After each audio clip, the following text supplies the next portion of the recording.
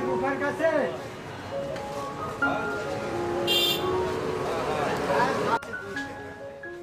গেল কয়েক বছর ধরে ঈদুল আজহার। আগে বিগত বছরগুলোর চামড়া বিক্রির বকেয়া টাকার জেরে নিয়ে দুশ্চিন্তায় থাকেন দেশের দ্বিতীয় বৃহত্তম চামড়ার মোকাম নাটোরের চকবৈদ্যনাথের চামড়া ব্যবসায়ী ও আড়তদাররা। এবারও গত বছরের চামড়া বিক্রির প্রায় পঁয়ষট্টি কোটি টাকা ঢাকা ট্যানারি মালিকদের কাছে অনাদায়ী রয়ে গেছে এখানকার ব্যবসায়ীদের। ঈদের আগে এই টাকা আদায় নিয়ে রাজধানী ট্যানারিগুলোতে এখন ধর্ণা দিচ্ছেন ব্যবসায়ীরা। বকেয়া টাকা না পেলে এবার চামড়া কিনতে পারবেন না এখানকার অনেক ব্যবসায়ী।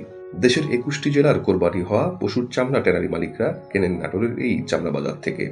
প্রতি বছর কোরবানি ঈদে এই বাজার থেকে প্রায় তিন লাখ পিস গরু ও আট লাখ পিস ছাগলের চামড়া বিক্রি হয়। করোনা পরিস্থিতির মধ্যেই কোরবানি ঈদকে সামনে রেখে অনেকটা ঢিমে তালে প্রস্তুতি নিচ্ছেন উত্তরাঞ্চলের বৃহত্তম এই চামড়া মোকামের আড়তদার ও ব্যবসায়ীরা। এবার পশু কোরবানি কম হওয়ার সম্ভাবনা থাকা সত্ত্বেও নতুন চামড়া রাখার জন্য আড়ত পাকা করছেন ব্যবসায়ীরা। আড়তগুলোতে থাকা পুরাতন সব চামড়া পাঠানো হচ্ছে ঢাকায়। চামড়া প্রক্রিয়াজাতকরণের জন্য ব্যবহৃত লবণের দাম এবার বাড়েনি খুব একটা। নেই শ্রমিক নিয়ে দুশ্চিন্তাও। এবার করোনা পরিস্থিতিতে অনেক বেকার ব্যক্তি কর্মসংস্থানের জন্য চামড়া প্রক্রিয়াজাতকরণ কাজে নিয়োজিত থাকবেন বলে ধারণা করা হচ্ছে।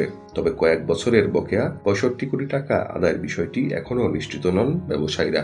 আমরা যারা সরজমিনে কাঁচা চামড়া ক্রয় করে লবণজাত করি এবং ট্রেনারিয়ালের কাছে বিক্রি করি, এবং বিক্রি করার আশায় পড়ে থাকি, তারা যে ওয়াদা, যে কথা দিয়ে মালগুলা নিয়ে যায়, সে অনুকূলে আমাদের টাকা দেয় না, আমরা পাই না।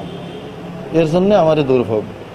আর বুলুমাল চালু হলে পারে, বা প্রধানমন্ত্রী যে গত টাইমে যে বলেছিল যে আমি কাঁচা মাল ক্রয় করব এবং কাঁচা মাল বিক্রি করব, এই সুবিধাটা যদি আমরা পাওয়া যেতাম এই দেড় থেকে দুই কোটি লোক কষাই থেকে শুরু করি আমাদের মতো সবাই আমরা বিগত জীবনে যখন সোনা ফলিছে এখনও সেই সোনা ফলাইতে পারতাম। গত দুই তিন বছর আগেকার আমরা বেশ দুই তিন ট্রেনের কোম্পানির কাছে টাকা পাবো। এদের কাছে আমরা সবার কাছে টাকা চাইছি। তো বলছে, আমরা দিব। কিছুদিনের মধ্যে আমরা টাকা দেবো, আপনারা টাকাতে আসেন না, ব্যাংকে আমরা টাকা লাগবে। এই ধরনের কথা তারাই আমার বলেছে। আমরা এখন আপাতত কিছুদিন লবণের জন্য। এটা তাও নাই, বলছে দিব কয়েকদিনের মধ্যে। যে ট্রেনারি মালিকরা কার কাছে কত টাকা পাবে সেই টাকার আমাদের কাছে লিস্ট চাইলো আমরা লিস্টগুলো ঢাকায় পাঠিয়ে দিছি।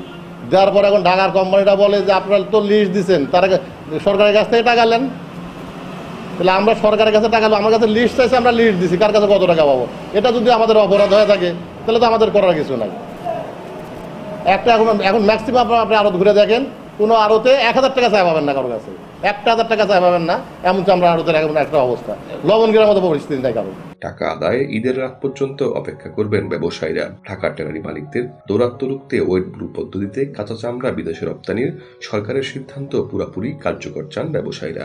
সরকারের পক্ষ থেকে ট্যানারি মালিকদের ঋণ প্রদান করায় এবার বকেয়ার অধিকাংশ টাকা নাটোরের ব্যবসায়ীরা পাবেন বলে আশাবাদী এফবিসিসিআই এর এই পরিচালক।